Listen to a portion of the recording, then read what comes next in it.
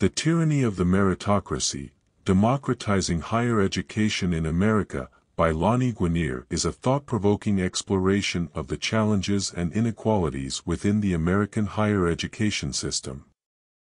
Guinier, a Harvard Law School professor and civil rights advocate, critiques the prevailing notion of meritocracy and proposes a more inclusive, equitable approach to higher education.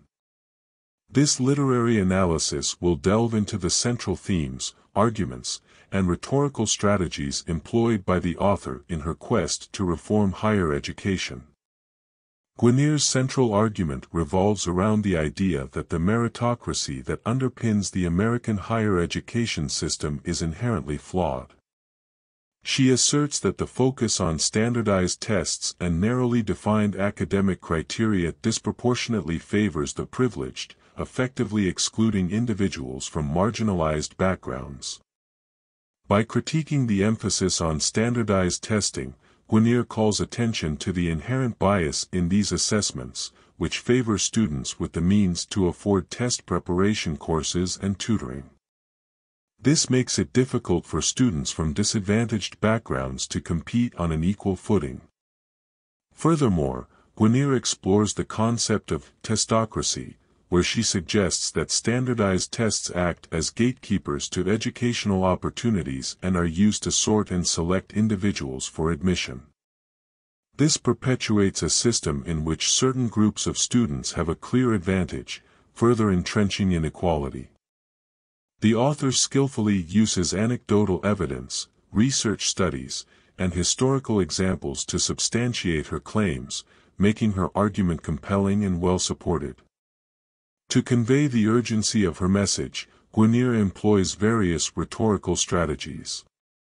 One of her primary tools is the use of pathos.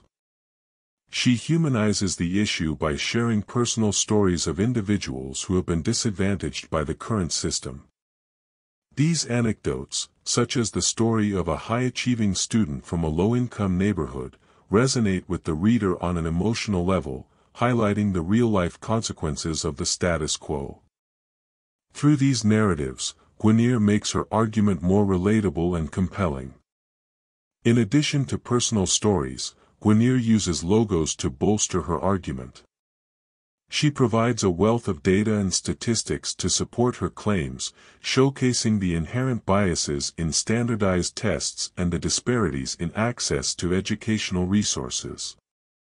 By presenting this evidence, Guinier appeals to the reader's sense of reason and logic, reinforcing her call for a more equitable system. Guinier also incorporates ethos into her argument by drawing on her own expertise and experience. As a renowned legal scholar and civil rights advocate, she possesses a level of authority and credibility on the subject. Her academic background and years of research lend weight to her assertions. Moreover, she references numerous academic studies and experts in the field, further enhancing her credibility. Another rhetorical strategy employed by Guinier is the use of analogy. She compares the American higher education system to a competitive race, highlighting the winner-takes-all nature of the current meritocratic model. This analogy effectively conveys the zero-sum nature of the competition for admission and the severe consequences for those who do not make the cut. By framing the issue in this way, Guinier emphasizes the need for a more inclusive and collaborative approach to higher education. Guinier's proposed solutions include a shift toward a more holistic admissions process, considering factors beyond test scores and GPA.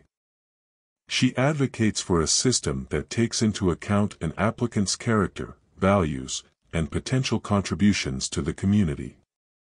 She also supports the idea of affirmative action to increase diversity and equity on campuses.